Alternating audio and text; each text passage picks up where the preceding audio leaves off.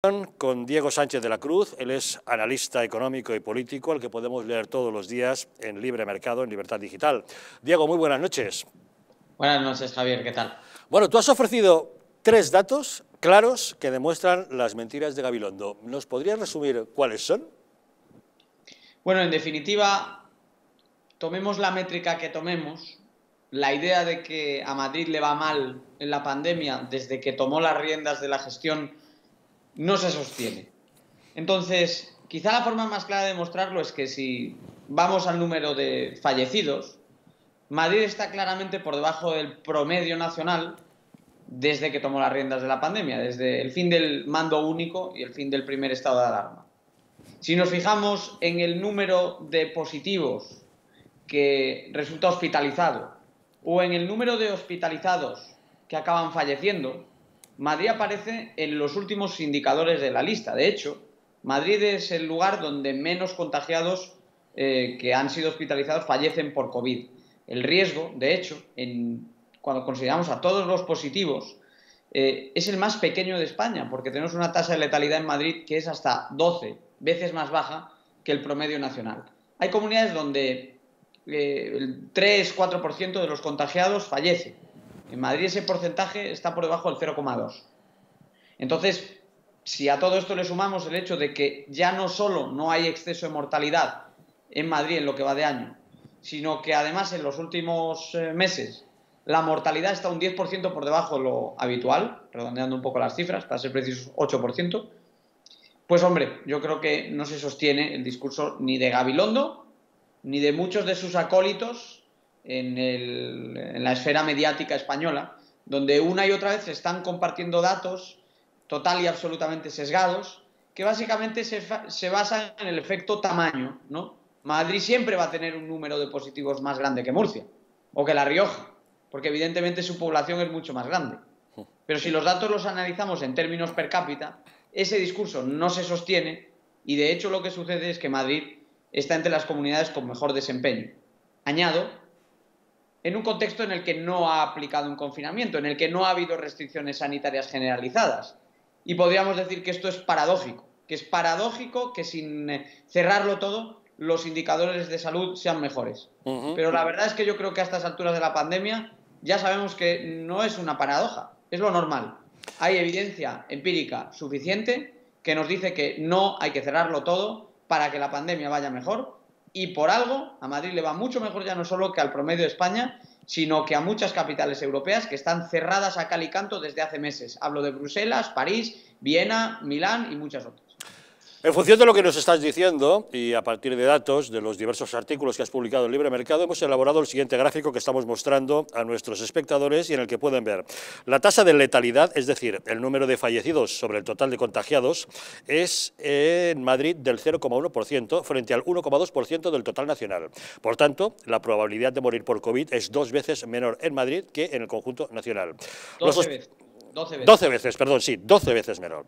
Los hospitalizados por cada 100 contagiados en Madrid son 1,1 frente a 6,7 en el conjunto de España, por lo que la gravedad de los contagios es 6 veces menor en Madrid. Y Madrid tiene un 8% menos de fallecimientos que en un año normal sin pandemia. Son unos datos bastante claros. Por tanto, ¿cómo es posible que Gabilondo mm, pueda mentir tan descaradamente y encima decir que los datos que aporta son oficiales del Ministerio de Sanidad cuando ha quedado totalmente desmentido? Bueno, ha quedado efectivamente descartado. A mí me ha llamado la atención que después de la publicación de mi artículo, y no antes, pero sí después, se han lanzado a hacerle la misma corrección los mismos, abro comillas, verificadores de noticias eh, y los mismos portales de eh, fact-checking que normalmente eh, se suelen dedicar en realidad a cargar siempre contra los eh, partidos de centro derecha y que suelen pasar por alto las falacias a las que nos tiene acostumbrados la izquierda en nuestro país. Pero incluso en este caso es que hasta esos suyos que van de neutrales eh, no han tardado en, en, desmentir por completo la afirmación absurda de que el riesgo de morir por COVID en Madrid es mucho mayor que el promedio, porque además fíjate, Javier, imagínate que fuese, no sé, que Madrid estuviese en el promedio, ¿no? Pues bueno, por lo menos habría, digamos que la mentira sería notable, pero es que aquí la, mentira es mayúscula, porque Madrid está muy por debajo del promedio y lo que Gabilondo está diciendo es que está muy por encima del promedio. O sea que esto ya no es engañar, sino engañar a la enésima potencia. Sospecho que la gente en Madrid sabe de sobra que la pandemia está mucho mejor gestionada en las manos de Isabel Díaz Ayuso que en las manos de todo lo que depende del Partido Socialista y el Gobierno central y que por eso sus mentiras no tienen mucho recorrido. Pero no por ello quienes nos dedicamos a estudiar los datos deberíamos permanecer callados ante este tipo de eh, falacias eh, tan, tan flagrantes ¿no? como las que has comentado. Sin duda, y la verdad es que los buenos datos de Madrid no han pasado desapercibidos ni tan siquiera para la prensa internacional. El Corriere de la Sera ha publicado El milagro de Madrid. Sin necesidad de cerrar, hay menos víctimas que en Milán. Tú mismo has explicado también la clave del éxito, que no es tanto la circulación como el control de los grupos de riesgo, ¿no? Es muy importante que no olvidemos lo fundamental de esta pandemia el 95% de los fallecidos tienen más de 65 años. Si proteges bien a los grupos de riesgo, tienes ganada, te diría, buena parte de esta maratón, que no sprint, que es la lucha contra el coronavirus. En Madrid, en las residencias de ancianos se introdujeron los controles eh, masivos antes que en ninguna otra eh, comunidad autónoma.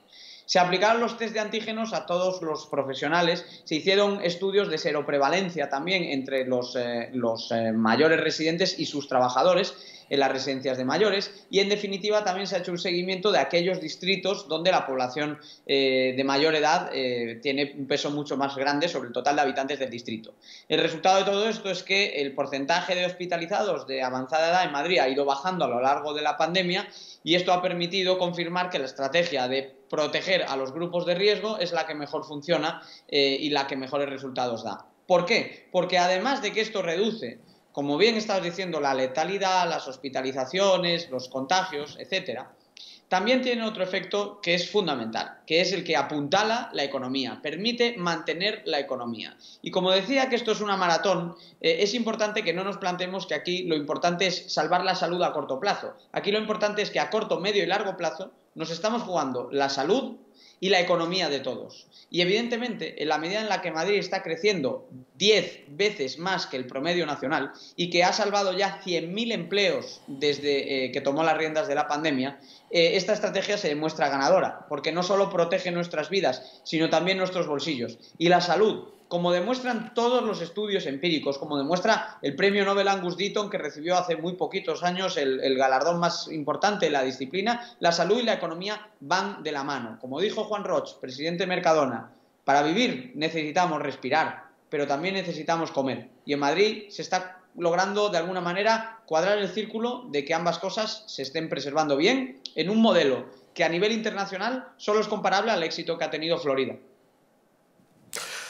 Don Diego Sánchez de la Cruz, del analista que todos los días nos ofrece las claves de lo que está pasando a través del libre mercado, muchas gracias por habernos acompañado una vez más aquí en Los Intocables. Muy buenas noches, Javier, y muchas gracias por tu invitación. Gracias. Como ven,